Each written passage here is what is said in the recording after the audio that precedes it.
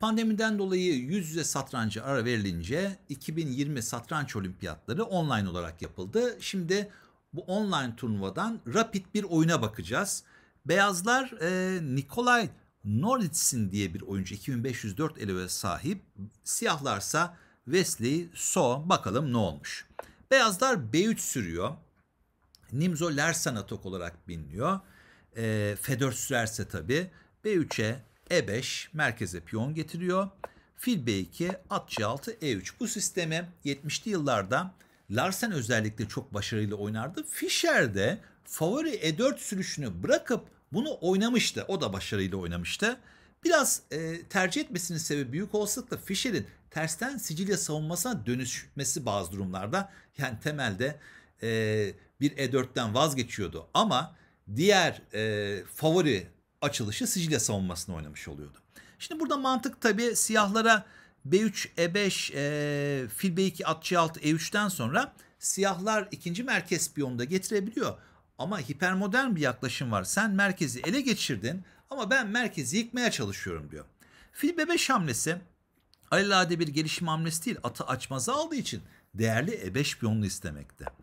Siyahlar da fil D6 çıkıp piyon tutmuş ve beyazlar at F3 ile devam etmiş. Burada F4 keskin bir seçenekte. E alır F4 yaparsa kaleyi kazanacak burada. Ama F4'ün kötü tarafı şu. Elbette vezir E7 ile piyonu koruyabilirsiniz. Bu arada F6 iyi olmaz çünkü FE, FE, fil C6, BC6 fil alır E5 gibi bir hamle var. Çünkü fil E5'e vezir H5 şahla çifte tehdit oluyor. Hem şahı hem fili istiyor. İşte e, F6 olmuyor. Vezir E7 oynayabilir ama burada size göstermek istediğim bir incelik var. Bir şah çekiş vezir H4 ölümcül çaprazdan beyazlara G3 sürdürtüyorsunuz. Ondan sonra vezir E7 oynuyorsunuz. Yani vezir H4 bir tempo kaybı değil. Çünkü beyazların G3 sürmesi yararlı bir hamle değil. Aksine G3 sürdüğü için beyaz kareler zayıf kalacak. Çünkü bir noktada e, diyelim at E2 oynadı. Bu fil bir noktada değişilecek. O zaman da beyaz karelerin bu beyaz filin varlığı sayesinde ne kadar zayıf olduğunu görebiliyorsunuz. Neyse oyuna gelelim. Bu ince bir açılış numarasıydı göstermek istedim. Oyunda beyazlar bu sebepten belki de at F3 oynuyor. Şimdi F6 ile piyonu korumuş. C4 e, kanattan saldırıyor çünkü merkez çok kuvvetli. A6 yapınca fil C6, B C6 ve D4 ile ikinci piyon da merkeze geliyor.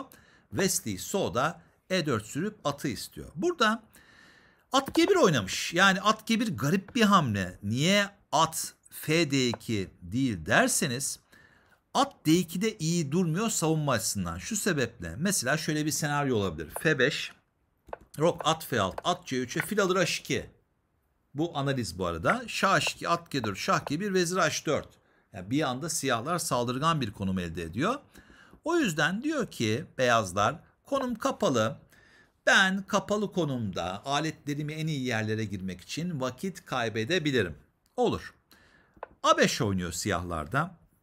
Filini buradan geliştirebilmek duruma göre veya A4 ile vezir kanından oyun elde etmek için at C3, fil B4, at E2, at E7, karşılıklı gelişim, rok, rok. Şimdi at A4. Beyazlar atını niye tahtanın kenarına gitti? Rakibi anlamak önemli satrançta. Bu oyunu bir tek siz oynamıyorsunuz. Yani karşınızda kum torbası var da sürekli onu dövüyor değilsiniz, ona vuruyor değilsiniz. Şimdi burada fikir şu. C5 yapacak, sonra A3'te fili kıstıracak. Hatta tersi A3 sürecek, fil D6 gidince C5'te fili kıstıracak. Böyle bir fikir var. Bu durum korku yaratmalı ama Wesley So hiç oralı olmuyor. At G6 oynuyor. Bu çok üst düzey bir hamle. Üst düzey oyuncuların en önemli özelliklerinden birisi kendi planlarını rakibe kabul ettirmeye çalışmalarıdır. Yani rakip bir şey istedi ben savunma yapayım. Bir fikir uyguladı ben engellemeye çalışayım. Sadece bu düşünceyle oynamazlar. Karşı fikirler, karşı saldırılar üretirler. Şimdi beyaz C5 ile filin yolunu tıkamış ama Wesley So, Wesley So ileri gitmeye devam ediyor. At H4. Ne olacak şimdi? Yani bu fil sıkışmıyor mu? Bakalım. A3 sürerse bu analiz büyük olasılıkla Wesley Sow fil G4 yapacaktı. A alır B4 yapınca da at alır G2 patlatacaktı. Ne oluyor? Şah G2'ye fil F3. Şah G1'e vezir D7. Şimdi e, tehdit vezir G4. At G3 kapatırsa arkada vezir boşta. Vezir D2 açmazdan çıksın mesela. Vezir H3. Mat istedi şimdi G2'den. Beyaz şahın ne kadar zayıf olduğuna dikkat. At F4 yaparsa vezir G4 yani matı engellemenin tek yoluydu ve mat oluyor. Atı kapatınca vezir G2 mat var. Zaten başka hamlesi yok. Yani dikkat dikkat. At H4 geldiğinde burada şimdiden tehdit yaratmış oldu. At H4'de beyazlar at G3'le önlem alıyor. Ve Silsoy artık geri dönüş yok diyor. Saldırıya devam ediyor. Geri dönüş yok. Gerçekten iki anlamda da filin geriye dönüşü yok. F5'e A3 yapınca F4 ile buradan yükleniyor. Yani at kaçarsa bir yere artık buraya F3 sürecek, sokuşturacak. G3'e vezir D7, vezir H3 ile gösterelim hemen. Yani daha iyi hamleler de olabilir ama F3 ya zaten atı istedi. Burada bitiyor yani.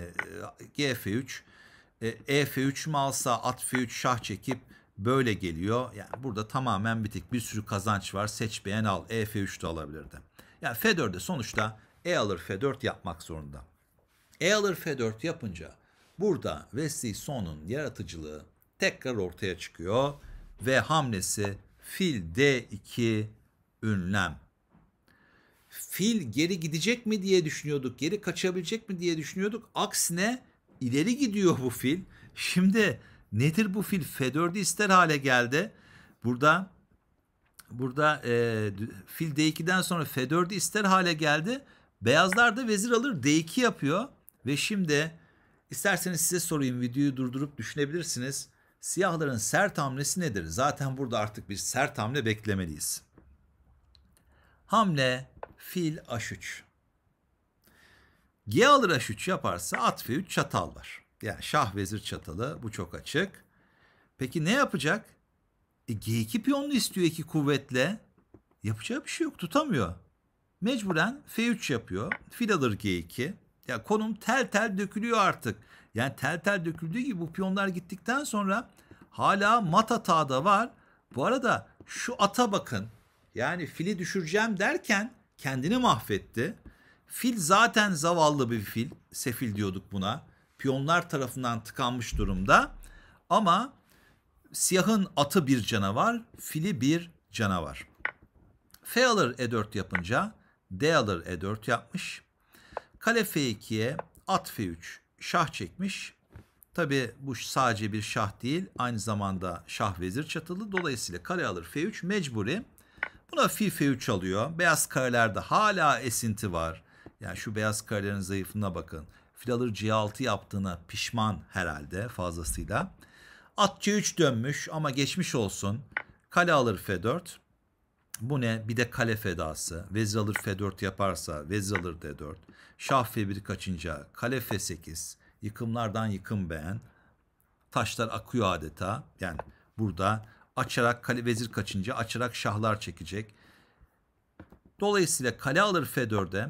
Kale E1 ile kalesini oyuna sokmuş. Ama siyahlar gümbür gümbür geliyor. Wesley sol gümbür gümbür geliyor. Vezir H4. D5. Kale G4. Şimdi e, kale alır G3 fikri var. At C E2 ile at E2 ile korumuş. Vezir H3. Vezir G2 mat istiyor. Bir de bunun rapid hızlı satranç olduğunu 30 dakikalık oyun olduğunu düşünürseniz baskı altında beyazların işi çok ama çok zor. Hem de zaten siyahların kazanan bir hata var. At F4 yapmış ama kale F4 var. Vezir alır F4'e G2'den matı gördünüz. Kale F4'e D6 sürmüş bir umuttur. CD, CD hop kale F7 dönmüş. Engellemiş piyon. D7 sürerse kale D7 alacak. Vezir D7'ye vezir G2 mat var. Fil E5 gelmiş. H5 ve burada teslim bayrağını çekmiş. Çünkü hamlesi yok. Örneğin kale C1 oynarsa E3 ile veziri saptıracak. Yani alamıyor. Mat var. Vezir C2'ye giderse E2 ile yol kesecek. Yine mat var. Ee, burada vezir F2 oynarsa diyelim H5'e vezir F2 oynarsa H4 atı kovacak. At kaçınca kale F5 var. Kale G5 ile yine yıkım var. Filmi kapatacak buraya. Her durumda H alır G3 alıyor. Westy Soğ'dan çok ama çok güzel bir oyun. Umarım beğenmişsinizdir. Abone olursanız sonraki videoları kaçırmamış olursunuz. Destekleriniz için teşekkür ederim. İyi günler dilerim.